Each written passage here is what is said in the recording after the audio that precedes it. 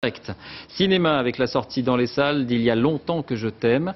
L'écrivain Philippe Claudel signe son premier film. Christine Scott Thomas et Elsa Zilberstein y incarnent deux sœurs qui se retrouvent après 15 ans de séparation. Marie-Jo jouant Tristan Lebras. Vous avez passé combien de temps en prison? 15. 15 ans. Sous peine de déflorer l'histoire, on ne dira pas pourquoi Juliette a purgé une si longue peine.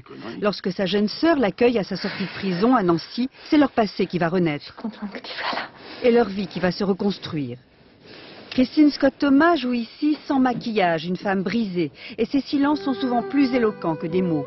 Et puis c'est aussi un travail physique. Je me suis laissée grossière un peu, euh, j'ai un peu empâté, tout comme ça, lourde.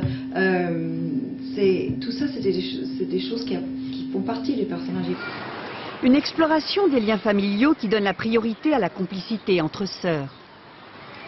J'ai couché avec un homme la semaine dernière. Quoi? J'ai couché avec un homme la semaine dernière. Où? Un type. Dans un café.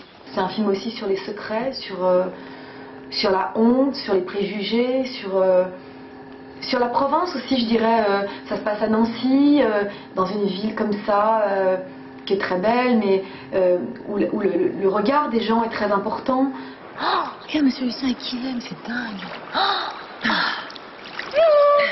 Deux belles actrices dans l'univers d'un écrivain.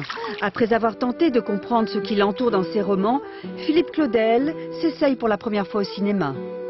Il y a toujours ce, euh, cet appétit à aller vers le secret des autres, à aller vers leur beauté, vers leur, euh, leur fragilité aussi. Voilà un bel hommage aux femmes, à leur force, leur capacité à se reconstruire.